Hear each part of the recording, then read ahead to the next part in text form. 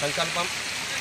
మానకొండ నియోజకవర్గంలో లక్ష ఎకరాలకు నీళ్ళు అందించాలన్నటువంటి ఒక గొప్ప సంకల్పానికి ఇప్పటికే నియోజకవర్గంలో తొంభై శాతం పనులన్నీ కూడా పూర్తి చేసుకొని గత మే నెల నుంచి కూడా కనీసము తాగునీళ్ళు కాదు కదా తాగునీళ్ళకు కూడా కటకట అనుభవించినటువంటి మండలాలలో బెజ్జంకి ఇల్లంతకుంట గన్నేరు వరము.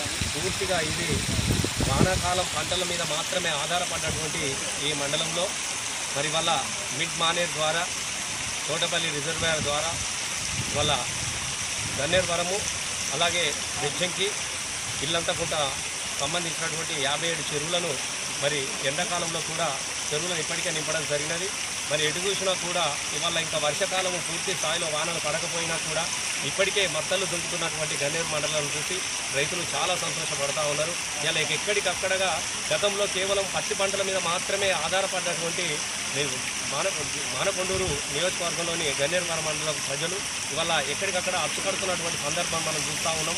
పొలాలను అచ్చుకట్టుకొని వరి నాట్ల కోసం సిద్ధం చేసుకుంటున్నటువంటి సందర్భాన్ని ఇవాళ ఎటు చూసిన ప్రతి పల్లెల్లో కూడా మనకు కనబడతా ఉన్నది.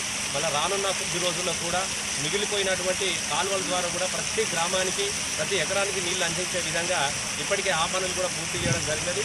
రానున్న ఒక నెల రోజుల లోపలనే అంటే వర్షాకాలము బతుకమ్మ పండుగ వరకల్లా ప్రతి గ్రామంలో ఊరు రాష్ట్రంలో నిండైనటువంటి బతుకమ్మను నిండైనటువంటి బతుకమ్మ నెయ్యాలన్నటువంటి సంకల్పాన్ని పెట్టుకొని పనిచేయడం జరుగుతూ ఉంది.